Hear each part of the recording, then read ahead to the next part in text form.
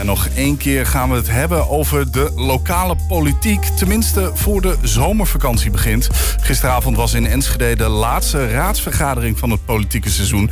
En betekent dat we gaan terugblikken met collega Wilco Lauwers. Wilco, goedemiddag. Goedemiddag. Ja, ja. De laatste vergadering voor de zomervakantie. Uh, is, dat, is dat nou een dingetje of... Nou, die, die laatste vergaderingen, hè, die, die, dat is sowieso altijd wel een dingetje. Uh, er zijn altijd wat, wat uh, voorstellen over van het college... die dan nog in stemming moeten worden gebracht. Hè. Dat wordt steeds doorgeschoven bij vergaderingen, omdat het te lang duurt. Nou, dan behandel je dat de volgende vergadering. Maar ja, die agenda is ook overvol. Dus vaak zie je vlak voor de vakanties, ook voor de, voor de wintervakantie... voor de, voor de kerstvakantie zien we dat ook nou, dan, dan zijn er wat, uh, wat voorstellen zijn er over. En dat moet dan allemaal in één dag worden gedaan. En ja, de politici willen ook hun eigen moties en amendementen, hun eigen voorstellen uh, een plekje geven. En daar is dan bij zo'n vergadering ook een ruimte voor. Dus wel één dag in twee dagen vaak. Of vaak uh, ben je twee avonden druk. Gisteren zijn zo'n vier uur begonnen. Um, en en dat, dat duurde dus zeg maar tot elf uur gisteravond. We hadden er rekening mee gehouden dat we vanavond weer die kant op moesten. Maar dat... Dat hoeft gelukkig Nee, het is gelukt allemaal. Het is allemaal gelukt, ja. Maar was het dan ook op, op een zekere zin nog... Uh, was het een aaneenschakeling van formaliteiten... of was er ook nog een bepaalde mate van vuurwerk? Nou, vuurwerk, vuurwerk het begon natuurlijk wel opvallend hè, gisteren. Dus met het boerenprotest natuurlijk. Uh, we hadden het gisteren al even in de uitzending. We zien de beelden, zien we ook nog even op de achtergrond. Ja, dit gebeurde vlak voor die vergadering. Tientallen trekkers natuurlijk vanwege het protest tegen het stikstofbeleid. En die gingen ging op het ei van kool. Um, burgemeester Roelof Bleken heeft daar een toespraak gehouden. Um, uh, nou met een megafoon. Hè? Met een megafoon even toegesproken dat hij ja, eh, wel begrip toonde voor hun uh, zorgen. En dat, uh, nou, dat hij morgen, woensdag, met de gedeputeerde ook over dit thema in gesprek gaat. Want ja, Overijssel heeft daar een heel eigen idee bij hoe ze die stikstofregels uh, moeten gaan uh, opvolgen. En dat is niet per se wat het kabinet heeft voorgesteld. Okay. Maar daarover later misschien nog wel een keertje meer. Nou ja, en, en er zijn moties geweest ja. gisteren in de gemeenteraad zelf. Ja. Wat was de strekking daar dan ja, van? Over was, stikstof? Ja, ik was er op dat moment nog niet bij. was onze collega Ernst Bergboer. Maar die twee moties, die ene houdt eigenlijk in dat de gemeenteraad de steun uitspreekt voor de boeren. Hè. een, een soort hart onder de riem steekt en wil onderzoeken wat die stikstofregels nou precies uh, voor Enschede betekenen in dit gebied. Die andere motie, die heeft eigenlijk als strekking, hè, die werd door, de, was door de PVV ingediend, uh, door, door meerderheid gesteund. de andere is door D66 ingediend en door, ook door meerderheid gesteund. Die gaat er wel van uit dat er dus een stikstofreductie moet plaatsvinden en dat het ook dus bij de agrariërs moet komen. Dus ja, steun, maar tegelijkertijd ook uh, uh, vindt een meerderheid van de gemeenteraad dat de regels als het ware wel opgevolgd, moeten, worden. opgevolgd moeten worden. De vraag is ja, in welke zin, maar daar gaat de provincie dan ook weer over. Het is een lastig verhaal. Maar in ieder geval, er is steun uh, voor de boeren. Ja. Verder nog uh, belangrijk, dit is natuurlijk het, het, het gesprek van de dag nog steeds. Hè, en, maar ja, geldt voor heel Nederland. Als we ja. kijken meer naar Enschede, zeg maar. nog belangrijke dingen daarover ook gezegd.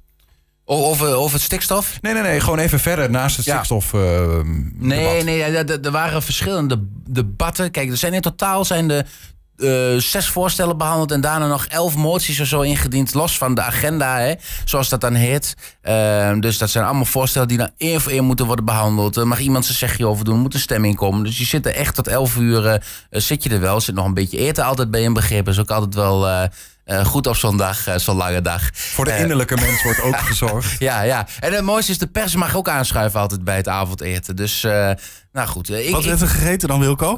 spaghetti volgens mij. Maar ik, in dit geval kwam ik pas na het avondeten okay. aan. en heb ik de vergadering gevolgd. dus Pasta was, uh, was uh, stond erop, weet ik. Maar uh, um, nee. Dit, Zijn we al voorbij de inhoud? Is ja. dat de reden dat we over het eten hebben? Dus, nee, maar het was, het was een vergadering, het was een beetje een allegaatje om het zo maar te noemen. En er waren wel wat emotionele debatten ook. We gaan zo meteen naar een video kijken. Even ter introductie. Het gaat over tonggeld. Dat is een regeling ook voor ondernemers die dan gecompenseerd worden in hun uh, nou ja, in hun kosten, die hebben natuurlijk ook persoon in hun huishoudelijke kosten ook. Hè. Die hebben dat is een coronaregeling, toch? Dat was een coronaregeling, ja. ja. De, heeft, de gemeente heeft daar uh, meer dan 3 miljoen voor gekregen van het Rijk, 3,2 miljoen. Nou, dat was al afgelopen winter 2,5 miljoen uh, is al in de algemene reserve gegaan, in de spaarpot van de gemeente, omdat het over was. Dus nog 5 ton, ruim 5 ton is er overgebleven. Uh, voor dit jaar. En daarvan is ook een groot gedeelte uh, niet gebruikt. Dus nog 4,5 ton over. En daar ging deze discussie over. De spelregels zijn als volgt. Als we geld overhouden, in dit geval ging het om tongeld... had ook om ander geld kunnen gaan, ga dan naar de algemene middelen. Dat is niet weg, dat geld. Dat geld is er nog steeds. En op het moment dat we een plan hebben met elkaar... kan er ook geld aan gekoppeld worden... en gaat u als raad erover om daar besluiten over te nemen. Dus voor dit moment kan ik gewoon acteren. Ook voor de komende maanden nog kan ik nog acteren. Ik heb geen signalen dat ik nu acuut meer geld nodig heb dan de 4 ton die ik daar nu extra voor heb. Uh, dus dat is een beetje kort samengevat hoe het er op dit moment voor staat. Ja, voorzitter, dank. Want ik hoor de wethouder eigenlijk al de afgelopen maanden keer op keer zeggen... ik kom met een plan en het komt dit en het komt dat. Nu hebben we geld. Er is al 2,4 miljoen van het geld van het Rijk... naar onze algemene middelen gegaan. Geef, waarom nou niet uitgeven bij schulden, mogelijke financiële problemen... voor deze doelgroep? Er zijn mensen in, die leven in armoede in Enschede. En wegkijken, voorzitter, is niet de oplossing. Dus als we slim zijn en we kunnen vandaag hier een statement maken... dan kunnen we de wethouder op pad sturen om wel wat te gaan doen. Ja, voorzitter, uh, heel, heel kort. Uh, zeker zijn er heel veel mensen die in schrijnende armoede leven in onze stad. Daar heb ik vaker met u over gesproken. Het zogenaamde wegkijken, wat mij verweten wordt... daar werp ik ver van me. Dat soort taal, u zou eens een dag met me mee moeten draaien. Dan zou u een ander inzicht krijgen. Echt, dat werp ik ver van me. En als laatste punt, als het gaat om het geld... Ja, dat geld hebben we. En dat geld kunnen we maar één keer goed uitgeven. En als laatste, daar gaat de lobby over... Het Rijk gaat over inkomenspolitiek. En er is maar één ding nodig. Het Rijk moet de koopkracht van onze inwoners gaan herstellen. En als ze dat niet doen, dan kunnen wij blijven pleisters plakken. Maar dan helpt er geen enkele pleister, zou ik u voorspellen. Ja, emoties uh, hoor je wel ook bij de wethouder. Ja. Uh, als we proberen die emoties even af te pellen, uh, zo'n day after, zeg maar, hebben Heer de Heuting van de PVV en Margriet Visser van NSG anders dan een punt? Nou, ik, ze hebben in die zin een punt. Je krijgt natuurlijk geld van het Rijk om daar wat mee te doen. Om dat, dat te besteden aan, aan armoede. en daar is in het verleden is ook wel eens geld voor kinderarmoede. Is er zo in de, in de algemene spaarpot van de gemeente verdwenen. En dat, die discussie was nog wel wat, nog wel wat heftiger. Deze ik snap wel het punt, zeg maar. Je houdt 2,5 miljoen over. Dat is veel geld. En um, het lijkt er nu op of je daarmee gewoon... Nou ja, het zijn niet in schaat in de begroting... want de gemeente staat er financieel gezien redelijk voor. Alsof je daar je eigen spaarpot mee gaat aanvullen. En nu nog eens uh, 5 ton, waarvan 4,5 ton over is, zo'n beetje. Ja, dat... dat uh, dat, dat lijkt erop alsof je dat geld uh, ja, denkt van, nou, dat is voor armoede, maar we gaan het straks uh, mooi aan een fietspad of aan, aan een zwembad of weet ik veel wat besteden. Nee, maar zo werkt het niet helemaal. Hè? ik snap wel het punt hierachter, ehm, maar er is geen plan om dat geld te gebruiken. Je moet wel weten waar de armoede precies in de stad is. En misschien is het ook wel wat kort door de bocht om te zeggen, ja, dit is armoede laat het geld besteden. Maar hoe dan? Help je iemand als jij um, zo even een cheque van uh, eh, 500 euro geeft, zeg maar. Ik, ik, noem maar even wat. Je moet dat wel op een goede manier uh, terecht laten komen. En dat is denk ik ook wel wat uh, Kampman, de wethouder, hier probeert te zeggen. Ik heb ook eens in, op de achtergrond en in, in de wandelgangen wel eens met hem gesprekken gehad hierover. Hij, en dan merk je ook die emotie op het moment die, die wordt aangevallen van wegkijken hij voelt dat totaal niet zo. Hè? Hij wil niet wegkijken, maar hij stipt hier ook aan dat het Rijk uiteindelijk een, een, een, een, boel geld over de, de, de brug gooit. Van doe er, maar, doe er maar wat mee. Terwijl hij eigenlijk verwacht, je zou de koopkracht van de mensen moeten verbeteren. Dat kan door lagere belastingen bijvoorbeeld, door de energiebelasting om, omlaag te gooien, door andere maatregelen. Maar steeds dit soort pleisters, labmiddelen, een, wat, check. Wat, wat gebeurt er dan concreet wel met dat geld nu? Gaat het dan op een plank totdat er een plan voor is? Niet, niet in die zin. Een, je kunt een apart potje maken en zeggen... daar gaat het geld in totdat we wat, wat anders hebben. Dat is niet zo. Er worden nu wel plannen gemaakt. Kamman zegt dat hij daarmee bezig gaat of mee bezig is. En daar komt nog een prijskaartje aan te hangen. En als dat prijskaartje er is, dan wordt dat geld weer uit die spaarpot gehaald. En dan kan de gemeenteraad ook weer wat voor zeggen dat er misschien meer geld bij moet. Uh, maar dat is op dit moment hoe het werkt. Nog andere besluiten? Nou ja, heel kort even. Uh, eh, 120 is tot uh, 1 januari in die zin gered. Ehm, we hebben, um, ik zeg we, omdat we bij 120 werken, maar als journalist ik daar natuurlijk. De E20 heeft, heeft nog twee ton gekregen om de lopende kosten voor dit jaar in ieder geval uh, um, te kunnen betalen. En, en er wordt ondertussen gezocht naar een structurele uh, oplossing. Dus hoe ga je nou elk jaar zorgen dat je, dat je niet drie keer per jaar weer in die gemeenteraad over 21 gaat hebben. En dat, ja, dat zijn verschillende scenario's voor en die worden binnenkort voorgelegd. Mm -hmm. Dat is er besloten, is over vluchtelingenopvang gepraat. Daar is niet heel veel uitgekomen. Wat wel ehm, de komende dagen nieuws gaat opleveren, is dat uh, ongeveer 55 uh, vluchtelingen in uh, crisis noodopvang, zoals dat heet, ergens in Enschede worden opgevangen. De locatie zou vandaag bekend moeten zijn, in ieder geval bij het college. Maar ik heb net voor de uitzending nog gekeken, was er nog geen nee. informatie over. Nee. Um, ja, goed, het is uiteindelijk ook die laatste voor de zomervakantie. Hè, en, en tot nu toe best wel wat inhoudelijke dingen toch op tafel gekomen. Uh, jij zei al, er wordt ook geborreld uh, vaak bij zo'n vergadering. Was het tijdens de vergadering ook nog gezellig op een zeker moment? Of, uiteindelijk, uiteindelijk werd er nog wel een beetje gelachen. En het is misschien bij het allerlaatste item van de avond. Motie 20 of zo was dit. En dat ging over Akerdrom. Akerdrom moet het buitenbad sluiten deze zomer. En dat vinden sommige raadsleden vinden dat echt niet kunnen. Dus daar moet geld naartoe. Nou, we gaan even kijken want er was nog wel uh, wat consternatie hier en daar. Ja, voorzitter, last but not least... en daarna gaan jullie mij hier anderhalve maand niet zien. Tel uw zegeningen.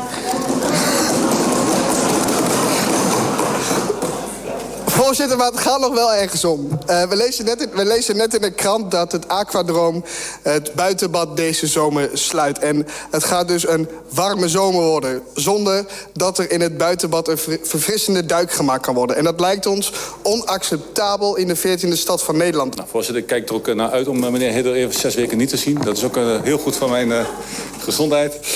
En ze hebben een keus gemaakt, want als zij het één open zouden doen, een buitenbad... dan kunnen ze het binnenbad dus niet open doen. Dat, is, dat staat in hetzelfde krantartikel waar u naar refereerde. Ik wil uw raad toch ook uh, scherp houden. Zo uh, in de finale van uh, deze laatste raadsvergadering voor het zomerreces. Want de heer Heutink en u roffelt daar al een hartelijk op los. Doet hij wel de toezegging dat we hem niet zien. Maar als u mij ook toe kunt zeggen dat we u ook niet horen gedurende het reces... dan ben ik pas echt blij. Ik zie hem knikken. Ik, na een anderhalf uur geleden, toen ik daar even wat ruimte voor had nog telefonisch contact gehad met de heer Mossink... van als we nu en als de raad nou besluit tot... wat is daar dan voor nodig? Kan dat überhaupt? En eigenlijk hebben we dat gesprek gevoerd... en is dat wat in de krant staat wel degelijk de realiteit. Je hebt een financiële component, dat is één. En de tweede, die is nog veel zwaarwegende, is gewoon een personeelstekort. En ja, dat doet zich ook voor in andere gemeenten. Het CDA is ook met reces al. Is dat klaar? Dan gaan we naar mevrouw Van der Veen.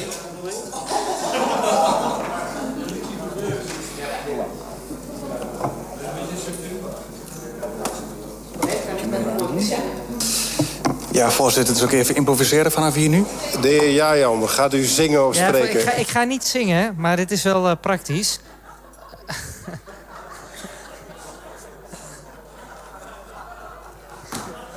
Ik heb er wel een strikje voor je. Ja, dankjewel. Ik kan nog een vraag.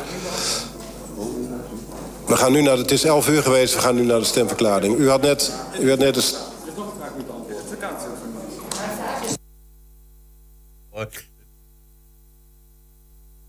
Welke vraag is, uh, want dat was in uw eerste termijn, dus een hele tweede termijn geweest. Uh, nu is ineens een vraag niet beantwoord. Welke vraag van u is niet beantwoord? Nou ja, of, uh... Pakt u de microfoon nog even als u wilt.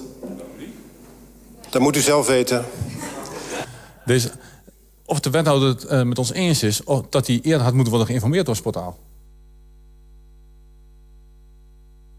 Op een gegeven moment gingen die uh, inspreekmicrofoons, de interruptiemicrofoon heet dat, waar de raadsleden hun, hun uh, inbreng kunnen doen tijdens het, de, het, debat, die deden het niet meer. Dus er moest een uh, microfoon, een losse handmicrofoon moest er worden ingeschakeld. En ja, het zag eruit alsof uh, Malkis Jajan van de VVD... Volkszanger. even wat ging zingen, zeg maar, om de sfeer wat beter in te brengen. Je ziet, de meligheid slaat toe bij zo'n laatste item, hè, Hidde... Um, die begint al van, nou, straks zijn jullie van Maaf en iedereen. Hè, je hoort dat uh, klappen op, op de banken. Dat betekent een, ja, een soort applaus. Applaus mag officieel niet, maar dat betekent een soort erkenning uh, ervan. Hè. Um, dat is natuurlijk met een knipoog. Maar aan de andere kant, ja, Hidde heeft zich uh, elke keer wel laten gelden. En je merkt hier ook wel dat sommige mensen ook wel denken van... hij is wel heel veel aan het woord. Dus ik ben benieuwd hoe dit verder gaat. Op zich is de sfeer onder de raadsleden redelijk afgezien van wat incidentjes die we de laatste tijd hebben gezien. Maar voor de rest is die goed. Ja. Goed, het is uh, uh, niet alleen Hidde die we, Hutting van de PVV, die we de komende tijd niet horen en zien, maar dat geldt voor die hele raad, want ze gaan acht weken met. Uh, ja, ja, en overigens, dat zwembad blijft gewoon waarschijnlijk gewoon dicht. Dat, dat is wel aangenomen, die motie, om een onderzoek te doen, maar ja, nee, het zwembad heeft aangegeven, we hebben daar geen uh, personeel voor. En ik heb nog wel gevraagd dat krantartikel dat ze citeren. Maar dat was gewoon een bericht van 120. Dus dat even ter aanvulling. Goed om te horen. Um, dus er uh, wordt gewoon het Rutbeek deze zomer, dames en heren, in Enschede. Sorry. Wilco, dank, dank je wel. ja. ja.